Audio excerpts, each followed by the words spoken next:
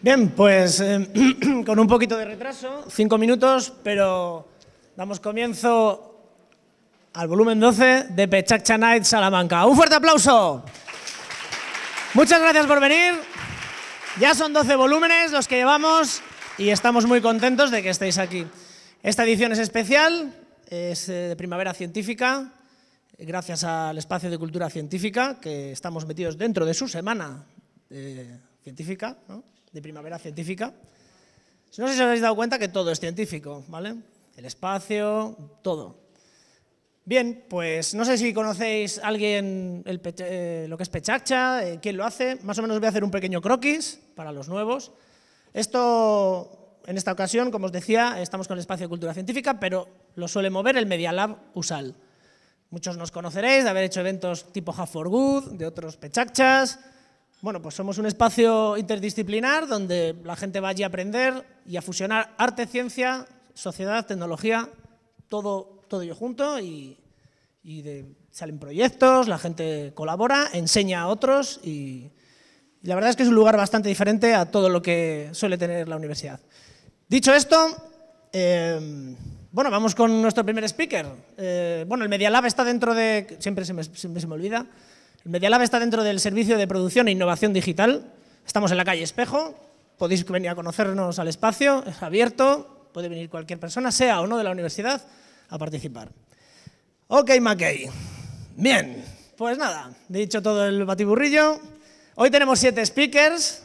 One moment, please. ¿Te sabes ya que vas a ser el primero? One moment, please. Tenemos siete speakers. Va a ser un poquito más corto que otras veces. Vamos a hacer cuatro speakers, un descansito y otros tres, ¿vale? Bueno, pues nos van a hablar, eh, nuestro primer speaker nos va a venir a hablar pues, un poquito de la vida de, las estrellas. Tom Cruise, Naomi Campbell... Este es algo así, ¿no? Catherine Zeta-Jones... Qué buena está. Bueno, algo así, no lo sé. Un fuerte aplauso para Jorge Hernández. Un viaje por la vida de las estrellas.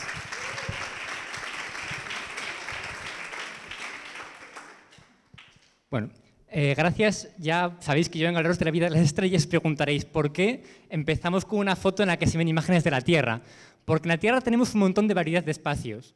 Tenemos eh, territorios muy naturales, territorios con vida y territorios que están poblados por nosotros, pero ante todo con mucha variedad. Fijaos, por ejemplo, hay una cosa que me fascina, que es nuestra mano. Es un material como muy extraño, ¿no? Es la, piel, la, la carne es muy extraña. ¿Esto cuándo pasa? vale. Em, todo está compuesto de unos 100 átomos. Todo lo que vemos, toda esa variedad, está compuesta por unos 100 átomos de la tabla periódica que todos conocemos. Esos átomos se agrupan en moléculas, como el agua, o moléculas muchas más, mucho más complejas, como las moléculas del carbono, que son las que nos forman a nosotros.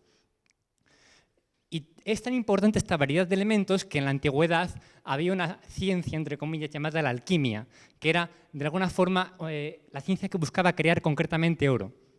Fundamentalmente intentaban crear oro. Por eso, porque hay elementos que no son muy abundantes y eh, a veces es interesante tenerlos. Y es que, de hecho, en el universo, al principio de todo, no había más que hidrógeno, que lo tenemos por aquí, con un protón y un electrón, y helio que está compuesto por dos protones, dos neutrones y dos electrones.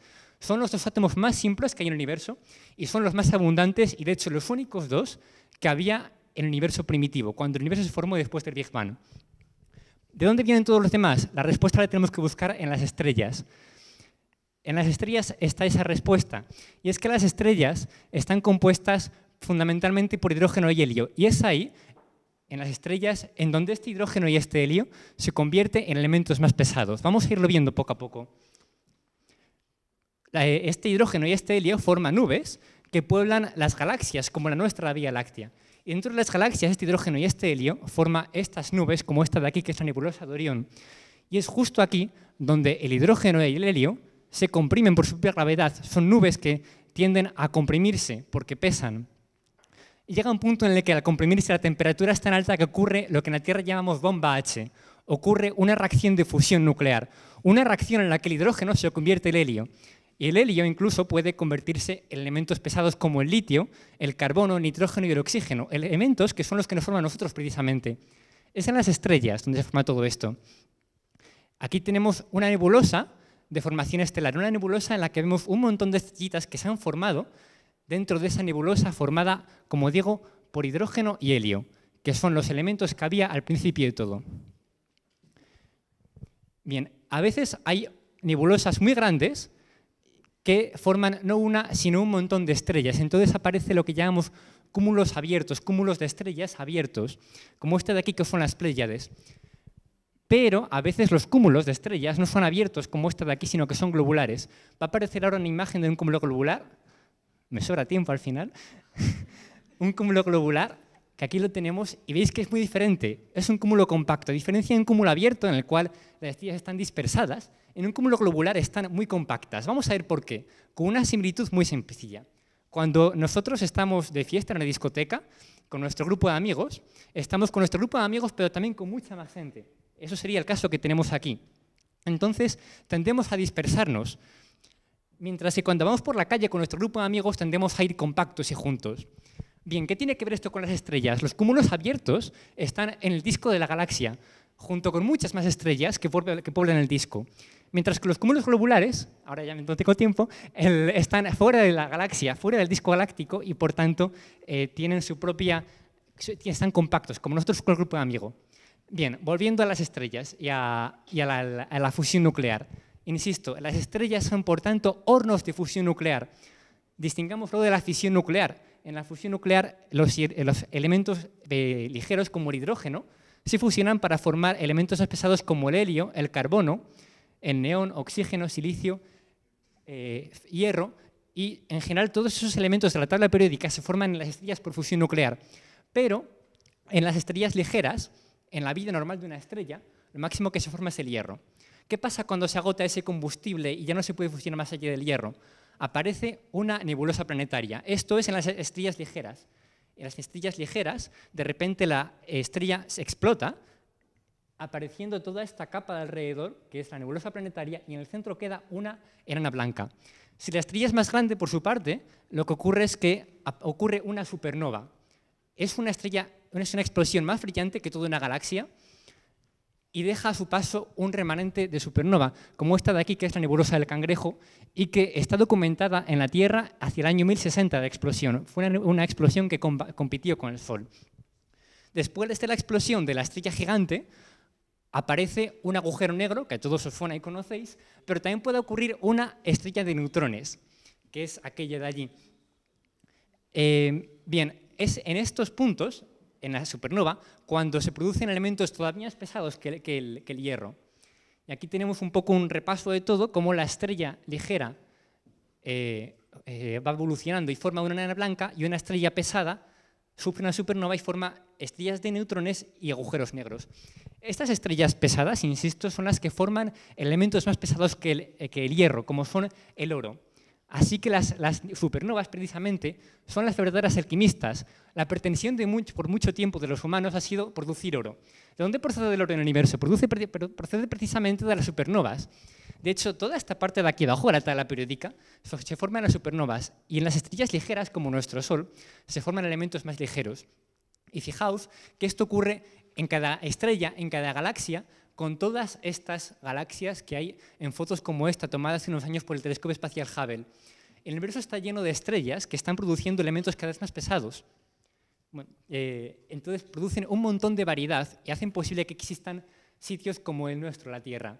Y ya para terminar, os comento que este sábado, si el tiempo lo permite, haremos una observación astronómica en el Parque de San Francisco, que está aquí al lado, precisamente con este nombre, en el que observaremos algunos de esos objetos que hemos visto ahora, y haremos también un taller infantil y el lunes veremos el tránsito de Mercurio, que es eh, cómo Mercurio pasa por delante del Sol. Muchas gracias por vuestra atención. Muchas, Muchas gracias.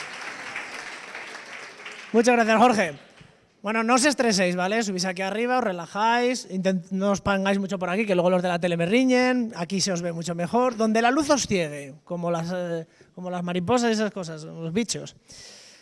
Bueno, pues el Media Lab, como cualquier ser vivo, nace, crece, se reproduce, muere, no lo sabemos, de momento estamos vivos, pero sí se reproduce. Y resulta que ha salido, tenido un cachorrín, un cachorrín que se llama Data Lab, y nos lo viene a contar Nacho Sánchez. ¿Dónde estás? Nacho, hala.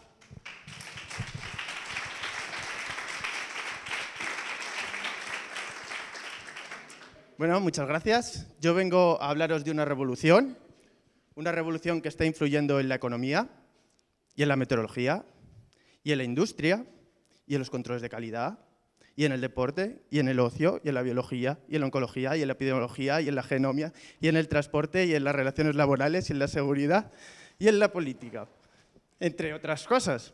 ¿Qué revolución estoy hablando? Estoy hablando de la revolución de los datos. Actualmente la tecnología nos está facilitando conseguir grandes cantidades de datos y con mucha facilidad. Esto da muchas posibilidades, aunque quizás la clave esté en luego aplicar unas técnicas estadísticas que te permitan aprovechar esas posibilidades. Pearson decía que la estadística es la gramática de la ciencia. Y es que no en vano eh, toda la información se puede transformar en de manera numérica y muchas veces se maneja mejor o se extrae mejor conclusiones manejándola de esta manera. Eh, las estadísticas no es solo lo típico de porcentajes, eh, un diagrama de barras, eh, unos sectores, sino que permite hacer análisis muy profundos y que permiten ir más allá. De hecho, es una herramienta que sirve para construir, porque tú puedes hacer un, un algoritmo o eh, un, sistema que te haga una predicción y eso te es útil en sí, pero también te sirve explorar, porque tú puedes tener em, bastante información, pero un método estadístico es la que te puede permitir ver patrones y contrastar lo que tú sabes con lo que te está representando. Y así puedes eh, tener nuevas hipótesis que permiten evolucionar tu trabajo. ¿Qué límites tiene esta metodología. Podría, por ejemplo, ayudarnos ahora en la crisis del Zika, esta crisis de salud. Pues en la del ébola lo hizo. De hecho, eh, Google, uno de, quizás uno de los casos más impactantes, es que ya había eh, montado en un proyecto específico de salud eh, un algoritmo que analizaba contenidos que estaban en la web y detectó una alerta de salud antes de que la OMS diera la primera alerta a, conocer al público. Em, este algoritmo pues, había eh, detectado que eh, médicos que estaban tratando con el tema se daban cuenta de que, de que ya no trataban con una gripe y estaban publicando en, blogs y en mensajes eh, que se trataba de ébola. Otro caso, quizás más cercano, es el de Netflix, una empresa que da un servicio más o menos sencillo, contenidos audiovisuales, pero que ve eh, muy potenciada su actividad porque utiliza unos algoritmos de recomendaciones que te permiten tener unos mm, contenidos a tu gusto. Y bueno, dentro de este mundo, pues está habiendo un movimiento por los datos libres. Em, se han dado cuenta de que es importante de que quien se le ocurre cómo usarlos o puede aprovecharlos, em, los tenga disponibles. Entonces, eh, ahora el gobierno de Estados Unidos, las comunidades aquí en España, eh, científicos, eh, usuarios privados, los están subiendo. Esta, por ejemplo, es una imagen que de todos los conjuntos que estaban en un formato que su información ya estaba relacionada. Y además podías extraerla con los aspectos de cada conjunto que te interesaran. dentro de este mundillo, desde Ausal, Datalab ha surgido como un grupo con fin social y fin divulgativo, en el que hacemos herramientas para solucionar todo tipo de problemas. ¿Qué puedes hacer por Datalab? Pues un, eh, un matemático, un ingeniero, eh, está claro que, que tiene mucho que ver con lo que hacemos, pero también lo tienen gente de otras especialidades. Necesitamos eh, gente que sepa de diseño, porque es muy importante representar de forma clara y de forma atractiva a lo que llegamos. Pero también incluso un arquitecto, porque ha habido estudios que trataban sobre los colores de la piedra de los edificios de Salamanca y provincias eh, circundantes. Entonces, necesitamos gente de, diferentes ámbitos y, bueno, ¿qué actividades hacemos? Pues, entre ellas, em, participamos en competiciones que promueven páginas como Driven Data, Eh, mm, no hace poco eh, estuvimos con uno que se trataba de, de, predecir las donaciones de sangre que se iban a hacer con unos datos de la gente que ya había donado. Otras actividades que queremos hacer son como hackathon, como el Hack for Good, que aquí mismo hicimos, en las que organizaciones vienen y presentan sus problemas, las cuestiones que les inquietan y son los expertos, los académicos, que les dan ideas para cómo afrontar y mejor solucionar o desarrollar aplicaciones para estas cuestiones. Eh, ¿Por qué?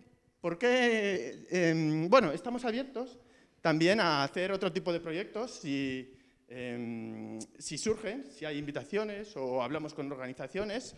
Estas dos cuestiones las he comentado, pero eh, os invitamos, de hecho, a si tenéis algunas ideas, proponérnosla y que se pueda hacer un trabajo dinámico. Eh, ¿Por qué eh, participar en Data Lab? Pues porque es divertido, uno aprovecha lo que sabe y de una manera útil. Que decir que se aprenden eh, habilidades que son muy útiles y son muy valoradas en la actualidad y se hacen también contactos y, y realmente es una actividad bastante provechosa. Nosotros nos reunimos todos los miércoles a las 12 en Media Lab, que nos acoge muy amablemente eh, y estamos en el edificio de, de de, que está enfrente de los hospitales, en, en la segunda planta en Media Lab. Eh, bueno, pues eh, agradeceros atender eh, esta, esta, presentación y decir que bueno, podéis saber también en el blog y estaré por aquí si tenéis alguna pregunta o queréis interesaros. Muchas gracias.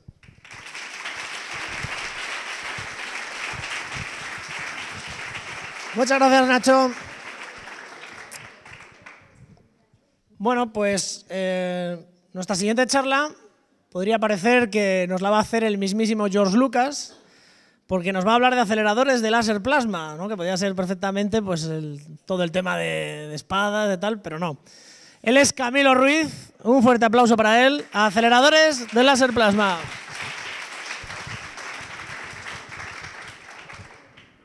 Hola, buenas noches. Este que veis aquí es el señor que se llama Teodoro Maiman, es el que inventó el primer láser en 1960.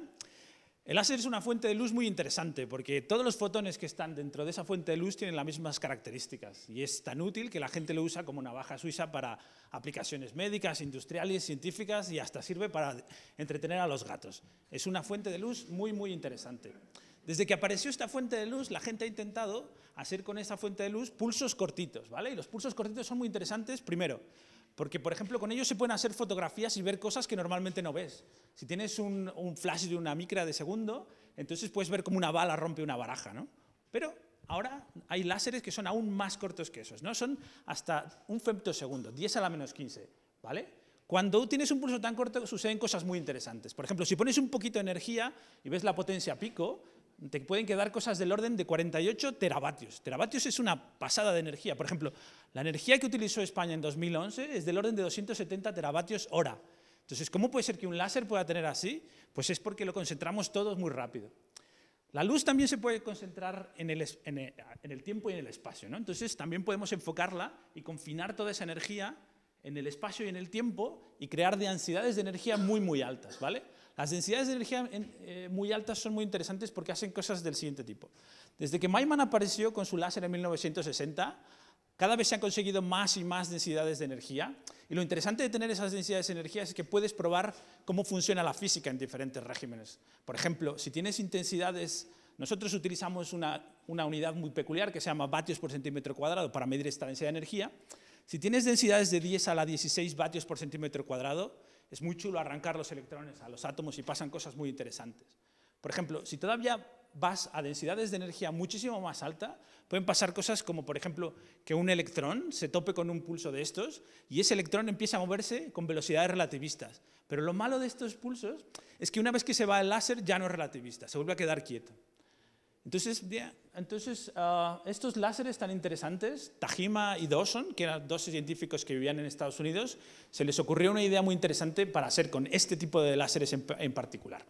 La idea es la siguiente. Ellos se imaginaron que había, por ejemplo, si uno coge un plasma subdenso y le lanza un pulso de estos, entonces ese pulso genera una especie como de lancha y detrás de él genera una estela, ¿vale? Entonces, ellos pensaron que a lo mejor esta estela podría ser útil para colocar electrones detrás y acelerarles a energías muy, muy altas. Entonces, esta idea se les ocurrió en 1979, cuando ni siquiera habían existido estos láseres.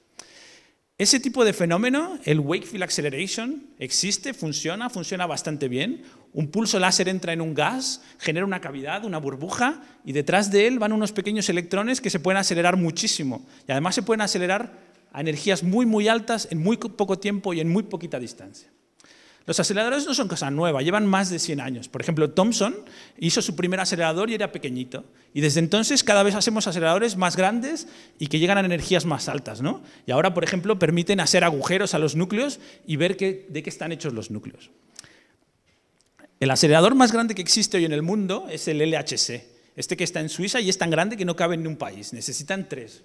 Los aceleradores son muy útiles porque sirven para aplicaciones médicas o sirven para aplicaciones industriales. Se utilizan para muchas, muchas cosas. ¿no? Por ejemplo, esto es una tabla con un montón de números que dice que los aceleradores son muy interesantes para hacer muchas cosas que son útiles en vuestra vida diaria. Como os decía, el acelerador más grande que hay en el mundo es el CERN, que tiene 8 teraelectronvolts por cada protón, mide 27 kilómetros y cuesta una pasta, un billón de euros. Ahora, una de las razones más importantes por la que es tan grande es porque la pieza fundamental de este acelerador solamente puede soportar gradientes eléctricos del orden de 55 megaelectronvoltios por si pudiéramos hacer un, gradiente más grande, podríamos hacer aceleradores tal vez más pequeñitos. Os voy a contar un experimento que hicimos hace unos años en, Inglaterra, en un sitio que se llama el RAL.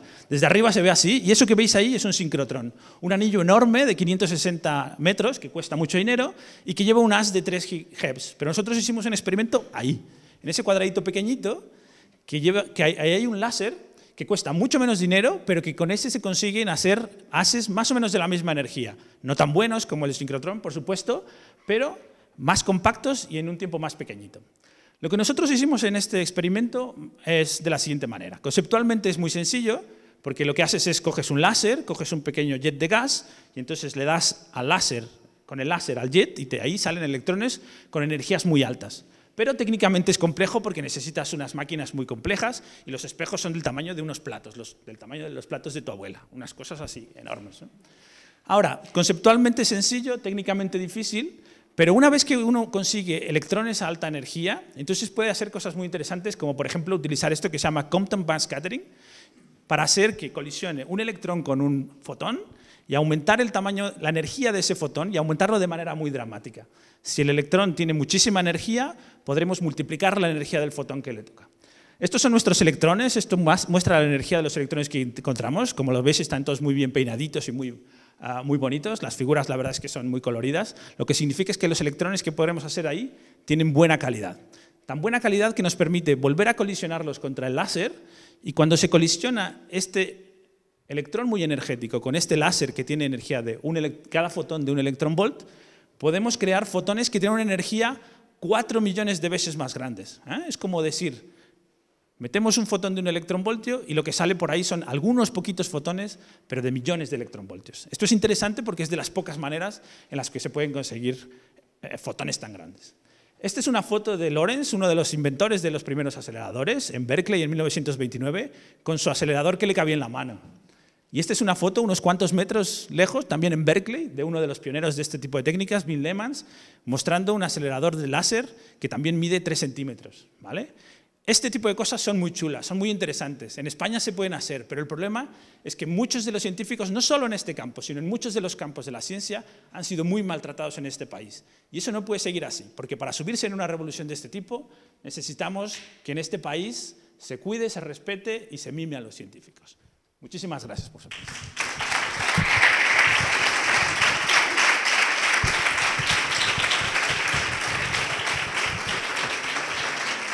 Amén, amén. Bueno, luego si quieres, al final del todo, puedes acabar yo creo el pechache otra vez con esa frase, ¿no? Porque ya es como que, bueno, pues nada, muchas gracias. Ha quedado fetén. Bueno, Camilo. Bien, bien. Has dicho 20 nombres de Transformer. Yo que soy un yo soy de Bellas Artes, yo 20 nombres, Ecotron, no sé qué, todos son de, de los malos, además. Bueno, nuestra siguiente speaker, Víctor Vicente, nos va a hablar de la geoestadística y sus aplicaciones para el desarrollo personal. Un fuerte aplauso.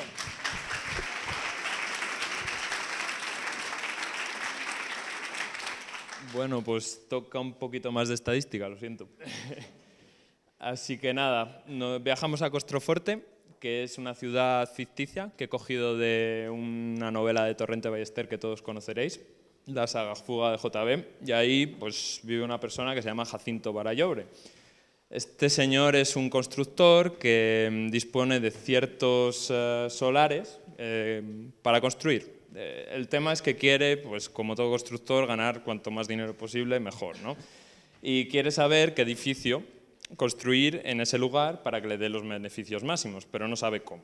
Entonces, básicamente lo que hace es contactar a un pobre doctorando que tiene poco dinero y sobornarle un poco eh, para, para, obtener eh, una solución.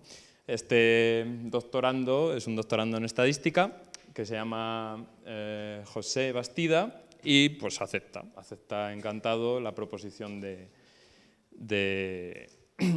de Jacinto. Bueno, el tema es que al, principio empieza a discutir cómo podría realizar este modelo para mm, obtener un precio mm, acorde a las necesidades de su cliente.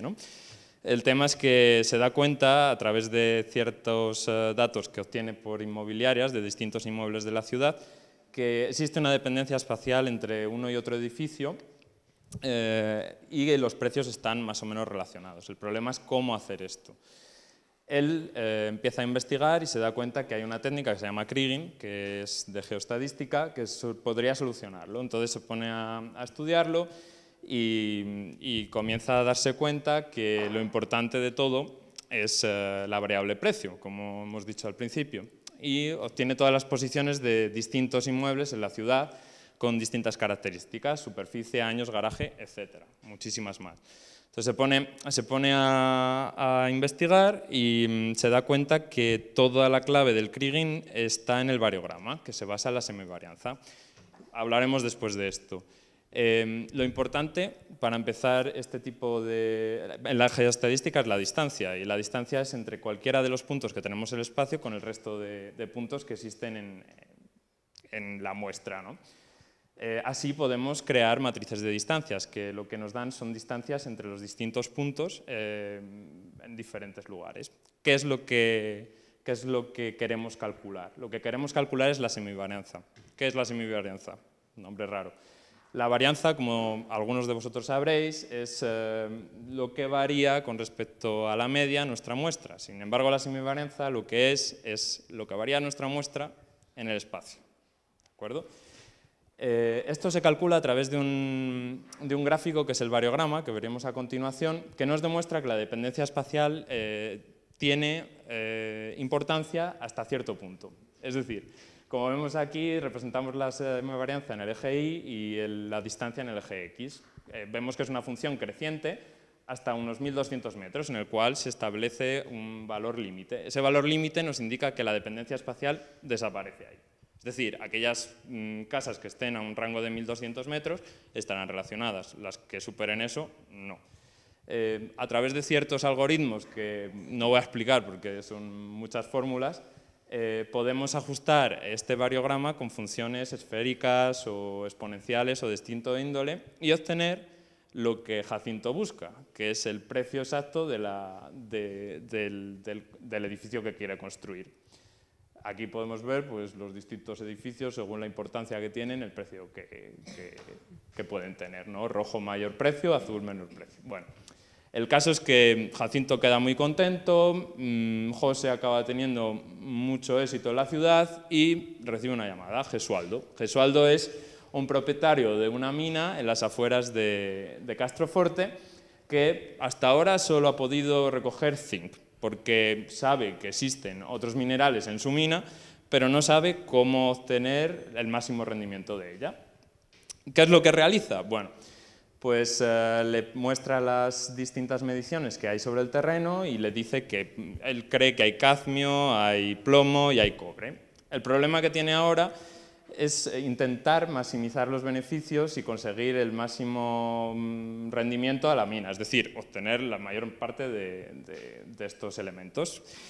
Eh, ¿Cuál es el problema ahora? El problema ahora es que antes estábamos centrándonos en el precio, ahora tenemos, eh, la importancia eh, dispersa entre todos los minerales. No estamos hablando de un tema univariante, sino de un problema multivariantes. Por ello, que utilizamos una técnica distinta que es el cochrane. Bueno, pues si antes era difícil ajustar un variograma, ahora tenemos que ajustar todos estos. ¿Por qué? Porque tenemos que ajustar unos variogramas para cada uno de los minerales y aparte la interacción entre ellos, que lo llamamos variograma cruzado.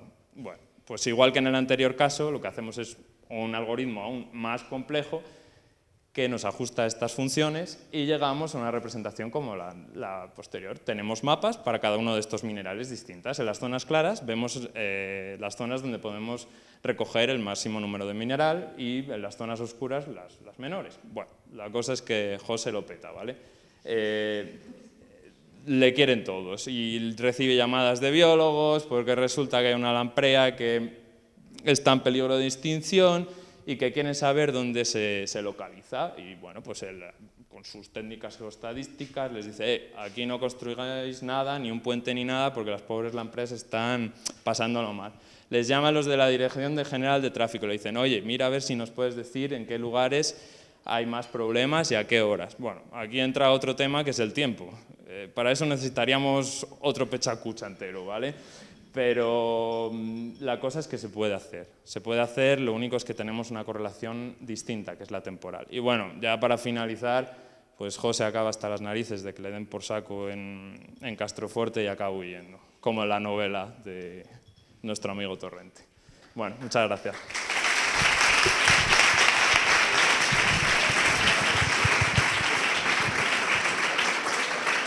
Bien, fenomenal. Vamos a hacer un descanso para que os toméis un refrigerio. He de agradecer mucho a los speakers la sencillez en vuestras eh, exposiciones, visualmente hablando, porque sé que sois científicos, os encanta todo el tema número, venga, pues tal. Se agradece, porque aquí hay gente de todos los eh, ámbitos. Así que nos tomamos una cerve y en 10 minutos, 15 máximo, volvemos aquí, os decir, ahí, aquí. Quien quiera tomarse la cerve y quien no, pues que hable, que comente y que se conozca. Hasta ahora.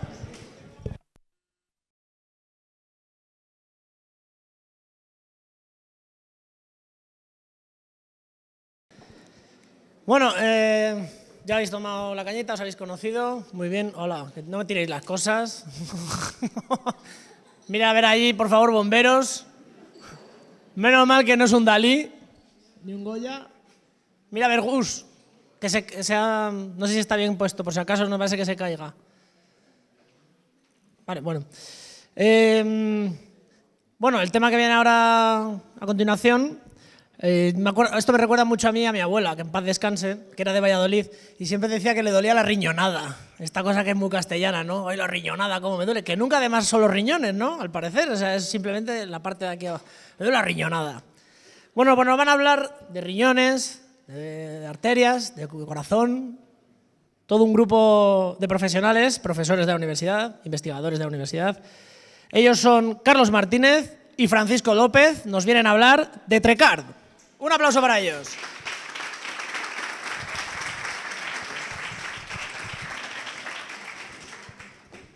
Bueno, pues os vamos a hablar de nuestro grupo de investigación en los siguientes minutos. No conocemos la presentación, nos la han preparado, o sea que vamos a improvisar sobre la marcha. No os despistéis mucho con las imágenes, ¿vale? Nosotros, como veis ahí, trabajamos en investigación renal y cardiovascular, aunque nos vamos a centrar sobre todo ahora a hablaros un poco de la investigación sobre el riñón, de las enfermedades del riñón. Y diréis, qué enfermedad es el del riñón, ¿no? No conocemos nadie cerca que tenga problemas del riñón, pues tenéis que saber que el riñón suele acabar mm, en muy malas condiciones a raíz de enfermedades muy frecuentes que conocéis más, como son la hipertensión y la diabetes. Entonces, nosotros estamos centrados sobre todo en una investigación traslacional centrada en la clínica, es decir, la investigación básica es fundamental, pero nuestro objetivo es realmente trabajar en el paciente. Eh, bueno, ¿y cómo lo hacemos? Pues somos un grupo, como nos han presentado, multidisciplinar de profesores, investigadores, biólogos, farmacéuticos, biotecnólogos, bioquímicos, eh, que trabajamos en el laboratorio, pero tenemos, como os digo, un pie centrado en, los hospitales. Eh, ¿Qué hacemos? Pues cubrimos o intentamos cubrir todo el espectro de la investigación, es decir, desde la celulita hasta el paciente. Hacemos biología celular, biología molecular, trabajamos porque es necesario con modelos animales y, por supuesto, saltamos al paciente. ¿Cuál es el principal problema de, de estas enfermedades? Como os he dicho, bueno, pues la hipertensión y la diabetes, por poner dos ejemplos frecuentes, tienen carácter, como dicen ahora, epidémico. No se contagian, pero significa que mm, está, por los hábitos de vida, por la falta de actividad física, por la alimentación, pues están en expansión, lo que significa que ahora mismo las enfermedades del riñón, y concretamente veréis más adelante, el tratamiento que tiene, se está comiendo aproximadamente un 2% del gasto sanitario, que es una barbaridad. ¿Y cuál es el tratamiento habitual para las enfermedades del riñón en la parte final, o sea, cuando ya el riñón está deteriorado? Pues solo hay dos tipos de tratamientos posibles, que es lo que se conoce como terapia sustitutiva, que es la, la, diálisis o el trasplante. Tanto la diálisis como el trasplante, aparte de que empeora mucho la calidad de vida del paciente, pues supone un coste sanitario tremendo. Y bueno, aquí podéis ver, yo también lo veo por primera vez, imágenes de nuestro laboratorio, en lo que os digo que trabajamos muchos profesionales eh, haciendo, pues ya os digo, desde biología celular, biología molecular y probando diferentes mediadores, sustancias, fármacos, intentando aplicarlo en el paciente. Insisto que nuestro objetivo es puramente lo que se conoce como traslacional, es decir, intentar que nuestra investigación pueda llegar a mejorar la vida del paciente no dentro de cinco o seis años, sino intentamos que sea en un plazo más corto, uno, dos, tres años. Lo intentamos, no significa que lo consigamos siempre, pero bueno, ese es un poco nuestro objetivo. Em, y por mi parte, ya no sé si seguir, mm, creo que le voy a pasar el micrófono a mi compañero eh, para contaros, aparte de lo que hacemos, también lo que buscamos y lo que nos gustaría, o en la parte que la que nos gustaría que todos vosotros y la sociedad en general colaborara con nuestro trabajo, que es en conseguir el capital, tanto humano como el otro, que es el que hace, el que hace posible que nuestra investigación se pueda llevar a cabo. ¿De acuerdo? Pues muchas gracias, Carlos, y muchas gracias a todos por, por asistir a esta pequeña presentación nuestra. Ahora van a pasar unas imágenes que yo tampoco he visto, que voy a disfrutar también, en las que podemos ver un poco pues, la, cara humana de, la cara humana de la enfermedad. Los pacientes sujetos a diálisis tienen una calidad de vida bastante mermada porque tienen que asistir dos o tres veces por semana a estos centros, pasar allí unas cuantas horas, mientras una máquina les dializa, les, les filtra, les depura la sangre. Y al pasarme mi compañero el micrófono y haber hablado, ahora os va a contar mi compañero lo que buscamos nosotros. Ha hablado de dinero, ¿no? Entonces yo me imaginaba que estáis pensando, este va a sacar el cepillo y lo va a pasar por... Pero no es exactamente eso, pero en parte, es así, ¿no? Porque como ha dicho otro de los ponentes previos, pues realmente eh, la ciencia está un tanto maltratada en nuestro país, sobre todo si lo comparamos con, con, el entorno. Y para hacer ciencia, para hacer estas cosas que ha dicho Carlos, pues se necesitan básicamente tres cosas. Una es conocimiento, otra es personal que se quiera dedicar a esto y otra es dinero. El dinero arregla bastante las otras dos, ¿no? Entonces, eh, eh, mm, el dinero, claro, el dinero viene de fuentes públicas, viene de fuentes privadas y las fuentes privadas pues son escasas en nuestro país. No tenemos cultura de invertir como sociedad, con nuestro bolsillo directamente, en la ciencia. Eh, y lo que mm, el mensaje que queremos aprovechar esta oportunidad para trasladar un mensaje y pediros ayuda. No ayuda económica en este caso, no voy a sacar el cepillo como decía antes, pero sí para utilizar vuestro ingenio, vuestros conocimientos, porque una cosa que presentaré al final es que nuestra ciencia, aparte de ser multidisciplinar, es también, eh, es también un, eh, en consorcio. Nuestra actividad científica está, eh, está, basada en la cooperación con otros grupos científicos europeos, internacional. Es una ciencia internacional y eso cuesta mucho dinero. Pero a lo que iba es que queremos apelar a, a, vuestro conocimiento en áreas muy diferentes a la nuestra para ayudarnos a difundir este mensaje de que, la, de que las enfermedades renales que están un poquito olvidadas por la sociedad, a pesar de que causan un gran gasto y una gran merma de calidad de vida para los pacientes, en asuntos como cuáles, pues ahora mismo no sé a qué os dedicáis o se dedican cada uno de ustedes, pero este, esta era la diapositiva del consorcio internacional que hemos formado, pero básicamente lo que necesitamos ahora es difundir eh, nuestro mensaje, difundir lo que hacemos y, y, estamos intentando poner en marcha una plataforma de crowdfunding, que esto lo utilizan ahora hasta los partidos políticos, ¿no? Está de moda lo del crowdfunding. Nosotros no somos expertos ni en esto, ni en redes sociales, ni en ninguna de estas cosas que seguro que hay personas en la audiencia o personas a las que puede llegar el mensaje de la audiencia transmitido por, ustedes o por vosotros que nos pueden ayudar en este sentido. Porque, ya digo, nosotros somos absolutamente negados en... y necesitamos ayuda porque creemos que las redes sociales nos pueden ayudar mucho. Muchas gracias. Aquí está nuestra información.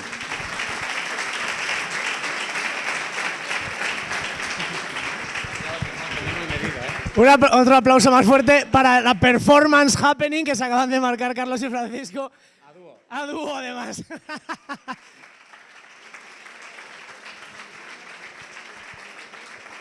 Bueno, hablaremos, hablaremos con Nelly, hablaremos con Nelly, ¿vale? Personalmente, para. Os ha metido un buen embrollo. Bien, bueno, no pasa nada. Habéis salido, habéis toreado, fenomenal. Está bien. Bueno, qué bueno. Eh, mm,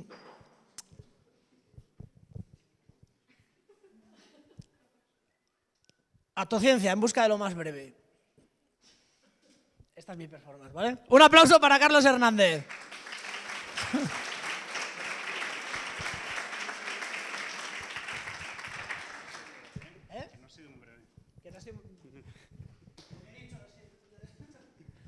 Bueno, buenas noches a todos. Eh, a lo largo de la historia, los científicos hemos tratado de investigar procesos que ocurren en la naturaleza en escalas de tiempo imperceptibles para el ser humano. Bien porque son procesos muy lentos comparada con, la duración de nuestra vida, como por ejemplo pues, la formación de los planetas o la formación eh, de las estrellas, la misma eh, edad del universo, o bien porque son procesos muy breves y no somos capaces de percibirlos. ¿vale? Pensad por un momento cuál es el proceso más breve que sois capaces de distinguir vosotros. Uno de los ejemplos típicos que, siempre ponemos, por ejemplo, es el que va a aparecer ahora mismo, es el aleteo de un colibrí. ¿vale? Un colibrí aletea muy rápido y no somos capaces de discernir bien ese movimiento. ¿vale? Pues bien, la tociencia, esta palabra tan rara, es la ciencia que trata de investigar estos procesos, los procesos más breves que ocurren en la naturaleza. Y se llama atociencia porque son procesos que ocurren en tiempos del orden de atosegundos. Para que entendáis bien lo que es un atosegundo, os muestro aquí la escala de tiempos. Entonces, si partimos en el segundo, que todos conocemos, y vamos a tiempos más cortos, pues tenemos el milisegundo, que es una milésima de segundo, luego el microsegundo, nanosegundo, picosegundo, femtosegundo y, por último, el atosegundo. O que es lo, lo que es lo mismo, una trillonésima de segundo. ¿vale? o lo que es lo mismo, 1 dividido 1 y 18 ceros a continuación. ¿vale? En notación científica lo escribimos como 10 elevado a menos 18. ¿Qué procesos en la naturaleza ocurren en tiempos tan breves? Pues bueno, son procesos que están asociados al movimiento de las partículas elementales de las cuales estamos compuestos. Eh, por ejemplo, dentro de un átomo tenemos electrones que están eh, orbitando alrededor del núcleo. Pues el tiempo medio que tarda un electrón en dar una vuelta alrededor del núcleo se estima que está en torno a unos 100 atosegundos. Para que os deis cuenta de lo extraordinariamente breves que son estos sucesos, voy a haceros ahora una analogía de lo que es un atosegundo. Y es que un atosegundo es a un segundo lo que un segundo es a toda la edad del universo. Es decir, esto. es, realmente fascinante lo breves que son estos, estos sucesos que tenemos en la naturaleza. Otra manera de entender cuánto de breves son estos sucesos es que la luz es capaz de dar siete vueltas y media a la Tierra en un segundo, y sin embargo en un otro segundo solo es capaz de recorrer el tamaño de una molécula de agua. Ahora bien, si queremos observar, ver estos procesos, necesitamos ser capaces de medirlos. Y os voy a poner un ejemplo para que veáis lo complicado que es medir eh, estos procesos. Un ejemplo que todos habéis experimentado más de una vez. Cuando habéis hecho una foto a una imagen que está en movimiento, pues muchas veces esa foto nos sale borrosa. ¿Por qué no sale borrosa? Porque la cámara no es suficientemente rápida para capturar la instantánea que tenemos en esa escena. Y entonces lo que hacemos es superponer distintas escenas y nos sale esa imagen borrosa. Si queremos realmente mejorar la, imagen, capturar la escena, pues si la cámara es suficientemente rápida, seremos capaces de observar estos procesos que tienen lugar en tiempos eh, muy cortos. Pues en la atociencia lo que necesitamos, necesitamos un dispositivo capaz de ver estos procesos que ocurren en tiempos de atosegundo. Es decir, necesitamos una cámara de fotos para hacer una foto de cómo se mueven estos electrones alrededor del átomo. Y esto lo hacemos con láseres. Nuestras cámaras son láseres. ¿De acuerdo? En concreto son eh, pulsos láser. Entonces lo que hacemos es con pequeños pulsos láser somos capaces de iluminar estos procesos y recabar información de esta iluminación de estos procesos que tienen lugar en tiempos de atosegundo. Y es que gracias al desarrollo de la tecnología láser durante los últimos 20 eh, años, hemos sido capaces ya de generar láseres intensos y láseres pulsados de una manera más o menos eh, rutinaria. Eh, estos láseres, como he dicho, son láseres pulsados, no son láseres continuos. Estáis acostumbrados a ver la luz que sale de un puntero láser, que es una radiación continua, pero no, somos capaces de tener láseres que emiten en ciertos pulsos de luz, ¿vale? Emiten entrecortados. Entonces, uno de los objetivos que tenemos en el grupo de investigación en aplicaciones del láser y fotónica de la Universidad de Salamanca es tratar de reducir al máximo la duración de estos, de estos pulsos de luz. Y somos capaces de hacerlo a esta duración de tiempos eh, de atosegundo. Para ello os voy a explicar de una manera muy breve. Lo que hacemos es coger estos láseres intensos que tenemos en el laboratorio, como, como veis por aquí, y, los focalizamos para concentrar toda su energía en un chorro de gas. ¿vale? Lo que hacen estos láseres dentro del gas, son, estos láseres son capaces de arrancar electrones dentro de los átomos del gas. Y ya os he contado que los electrones se mueven, tienen un movimiento en torno a unos cuantos atosegundos. Pues este movimiento de los electrones es capaz, aquí ha pasado muy rápido esto, es capaz de, es capaz de generar estos pulsos de, de, atosegundo. ¿De acuerdo? Entonces, em, a ver cuál viene ahora después, para no liarme. vale. Estos, son, estos pulsos de autosegundo que hemos sido capaces de generar se generan en laboratorios convencionales, como el que os muestro en, la fotografía, que está hecho en la Universidad de Colorado. ¿De acuerdo? Y, en cierta manera, gracias a la generación de estos pulsos de autosegundo, la autociencia se ha convertido en un campo muy activo y prometedor. Y, esta es la que se tenía que haber salido antes, han salido al revés. Vale, esto es cómo generamos estos pulsos de segundo, ¿de acuerdo? Entonces somos capaces de generar estos pulsos de segundo. Los más cortos que hemos podido generar hoy en día están en torno a unas decenas de segundo. Y gracias a ser capaces de generarlos, somos capaces no solo de medir los procesos que ocurren en la naturaleza en esos tiempos tan cortos, sino también de someterlos a nuestro control, lo cual es fantástico. Aquí os muestro un ejemplo de un, experimento que se hizo en Italia hace un par de años, de cómo fueron capaces de observar el movimiento de electrones dentro de una molécula. ¿vale?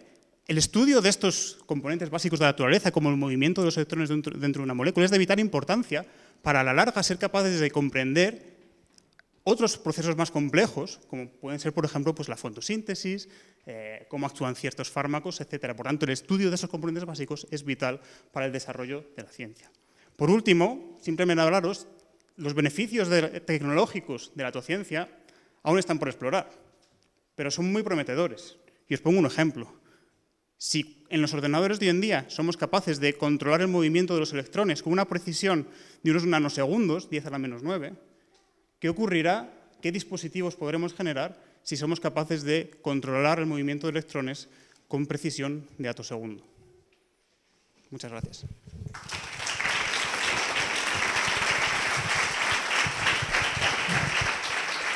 Muchas gracias, Carlos. Bueno, Camilo, tienes un amigo por aquí, ¿eh? Habláis de cosas muy parecidas. Bien, eh, bueno, ya nos queda el último speaker, eh, él es José. Bueno, esto, esto, es un grupo de gente que se ha montado una, una historia muy chula, os va a molar. Eh, son gente, bueno, conocemos a parte del equipo, han estado en Hub for Good, ganaron en Hub for Good, así que, hombre, mira, ya está aquí. Así es, se sube eh, aquí conmigo, pues nada. Ah, como siempre. No, no, quédate aquí conmigo. Esta gente ha cogido y ha dicho, bueno, vamos a hacer una dicotomía tan grande que es como si te digo, Internet y agricultura, ¿no? Que dices, bueno, mm, oye, yo qué sé, pero han dicho, cuidado, que si a esto le metemos inglés, prepárate. Internet of Agriculture, ¿ok? Y ya dices, bueno, cuidado con este proyecto, ojito. ¿no? Y ahí es donde empieza todo. Sí, más o menos. Más o menos. Bueno, un fuerte aplauso a José Abel Bote, Internet of Agriculture. Bueno, en primer, lugar, daros las buenas noches. Eh, yo estoy aquí como representando un equipo de trabajo que estamos metidos en el edificio este, en la incubadora. Eh, hoy por hoy esto es un horno, así que espero que valoréis un poquito nuestro trabajo. Nosotros estamos tratando de acercar una cosita que es muy famosa hoy en día, que es el Internet de las Cosas, pero aplicado a algo que nos rodea, y más en un Salamanca que tenemos agricultura y ganadería por todos lados. Pues resulta que una empresa específica haciendo ese tipo de cosas no había. Y yo digo, ¿cómo puede ser que en un Salamanca, donde tenemos carreras dedicadas a la biología, a la biotecnología, a la informática, a la ingeniería, a la agronomía donde yo vengo, no haya nada ni nadie que esté desarrollando algo de eso? Nosotros entonces decidimos hablar del Internet de las cosas y decimos, vale, el Internet de las cosas, conectar cosas, eh, monitorizar, medir, pero vamos a aplicar esto al sector agrícola, es decir, donde yo me siento cómodo, aquí, entre verde, en campo, me gusta el campo, ¿vale? el huerto. ¿Y qué hacemos con el Internet de las Cosas aplicado a la agricultura? Pues lo mismo que hace cualquier persona que está mirando un problema del corazón, cotillear. Cotillamos el medio. Pero cotillamos tantas cosas para buscar un control. Esto si lo conocéis es George Orwell, eh, la película 1984, y habla sobre el control de las masas. Pues nosotros hablamos sobre el control del medio agrícola. Eh, el control sobre las masas es negativo, a mí no me gusta que me controlen en 20 segundos, pero es lo que toca. Sin embargo, en el sector agrícola el control es muy beneficioso. ¿Y por qué? Pues porque el control en agricultura nos permite mejorar la eficiencia, en algunos casos, llegando hasta el 90%. En este caso estamos hablando de aplicación de fertilizantes y de agua. Esto que parece un 90% desde la agricultura antigua, tradicional, intensiva o la agrotecnología, nos deriva en unos ahorros bestiales en insumos, pero no solo económicos, que es lo que interesa a un agricultor, sino en factores medioambientales, en el temido cambio climático. En este caso, aplicando el Internet de las cosas a la agricultura, conseguimos aumentar la eficiencia mediante la reducción. Reducimos un 30% de pesticidas, 40% el riego y todo sin problema. ¿Y esto por qué? Porque queremos reducir la huella de carbono muchas veces para mitigar el cambio climático. En España se emiten actualmente unas 351 millones de toneladas de dióxido de carbono y un 12,2% provienen totalmente del sector agrícola. ¿Qué sucede? que nuestra empresa tenemos un fin, y es que únicamente trabajamos en cosas que impliquen sostenibilidad, llevarnos bohemios, llevarnos soñadores, pero creemos que en nuestro futuro algún día conseguiremos reproducirnos, tendremos hijos y querremos dejarlos algo bonito y bueno. Y en este caso consiste esto. Hablamos, intentamos generar un equilibrio entre la economía, la sociedad y el medio ambiente. Esta empresa, que creo que soy de los pocos a lo mejor que hoy hablaba, somos empresarios eh, para grandes, somos aprendices de empresarios, eh, se llama AgroSmart Solutions. Y aquí, en AgroSmart Solutions, aparte del sector agrícola, estamos mezclando diferentes variantes del sector agrícola aplicado al, Internet de las Cosas. Pero ¿cómo carajos, qué locura nos estás contando? Pues mira, pues porque es que estamos, por un lado, servicios en consultoría, que lo que hacemos es, sabemos lo que un ganadero o un agricultor gasta. Y eso lo mezclamos con lo que está haciendo. Y después con el laboratorio con lo que analizamos. Después con los proyectos que le desarrollamos. Y finalmente con las soluciones TI, con lo que venía a hablar en concreto. Eh, para hacer este equipo hace falta gente muy rara, eh, gente ovejas negras, hace falta gente del lado oscuro, del lado rebelde. Eh, estas son nuestras tazas de café, tenemos creo que cinco o seis tazas de café que se limpian varias veces al día. Creo que en Expreso nos va a empezar a dar acciones de la empresa, ¿vale? Y lo bonito de ser un equipo, de que somos tres en principio, pero somos más, ¿vale? Aquí podéis ver a dos de ellos esta mañana en una temida mudanza que hemos tenido, es que cada uno tiene un conocimiento diferente, cada uno aporta algo diferente a la empresa. Porque sí, el dinero, la financiación puede, ser todo muy bonito, pero si no tienes a gente no tienes nada. Quien hace un producto siempre y quien hace soluciones son las personas, no el dinero.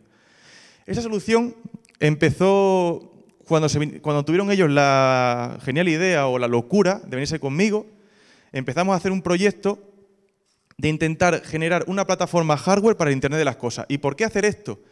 Porque necesitábamos una plataforma con unas condiciones tan específicas que no existían en el mercado. ¿No la encontrábamos? Necesitamos algo que tuviese comunicación vía Bluetooth, que incluyese un GPS, que incluyese comunicación GPRS, que tuviese eh, potencia de cálculo, que tuviese también radiofrecuencia, y no solo eso, sino que encima queríamos hacerla open, abierta, que cualquiera pudiese coger nuestro sistema, enredar con él y generar soluciones. Así de simple. Pues esa plaquita, eh, que sepáis que estáis viendo en primicia a uno de los prototipos que estamos haciendo, tenemos cuatro, esta es la versión 1, vamos a sacar una versión 3 y ya seguimos trabajando en ella, tiene la característica de que puede, en algunos casos estamos hablando de manejar más de 86.000 datos diarios para el Internet de la agricultura, para buscar soluciones, para concentrar datos, porque hablábamos en un principio del Big Data, del Internet de la agricultura, y nosotros no queremos generar datos en un solo lugar. Queremos interconectar todos los lugares, queremos hacer una red. Es decir, el problema de una persona no atañe a una persona, atañe a la sociedad.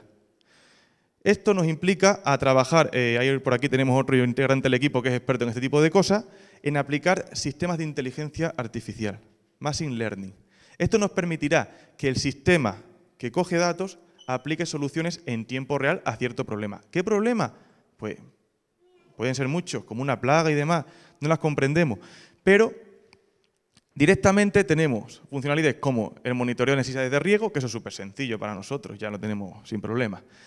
Problemas climáticos, pero nos permite monitoreo en granja, sensores de contaminación y esto es lo que nos trae de verdad la magia, que es que podemos llegar a predecir plagas con el sistema de, visión artificial, de, inteligencia artificial. Este sistema, la ventaja que tiene es que es polivalente, cualquiera puede utilizarlo. La gran desventaja que tiene para nosotros es el dinero. Por ello, dentro de un tiempo, cuando terminemos, creo que ya vamos por la tercera versión y sea funcional, e intentaremos hacer un pequeño crowdfunding, nada, buscando lo mínimo, 100.000 eurillos, que nos salga así del ataño. Es que eh, legalizar una placa de esta cuenta, cuesta 15.000 euros, se dice pronto. Y yo suelo decir una cosa, no soy mentor de nada, pero siempre hay una frase, y creo que la que nos estamos aplicando aquí nosotros todos, a pesar de ser muy jóvenes, estamos encontrando muchos problemas, pero estamos intentando sortearlos. O lo minamos o lo saltamos.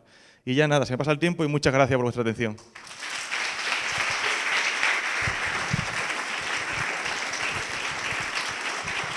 Bueno.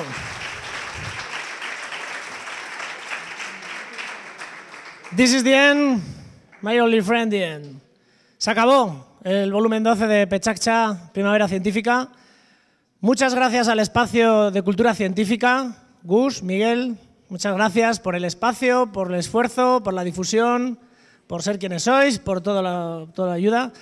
Muchas gracias a la USAL Televisión, que nos ha estado grabando todo esto para que os salgáis todos guapetones en casa y os podáis llevar el vídeo de vuestra presentación. Muchas gracias a Fernando Almaraz por seguir creyendo en el Media Lab.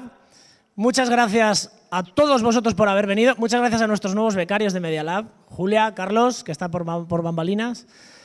Creo que no se me olvida nadie. Muchas gracias a todos vosotros por seguir viniendo, a todos los nuevos por haber venido y sobre todo, y como siempre, un fuerte aplauso para nuestros speakers, porque sin ellos no hay Pechaccha. ¡Un aplauso! Muchas gracias y nos veremos en el volumen 13 de Pechaccha Night. Hasta siempre, amigos.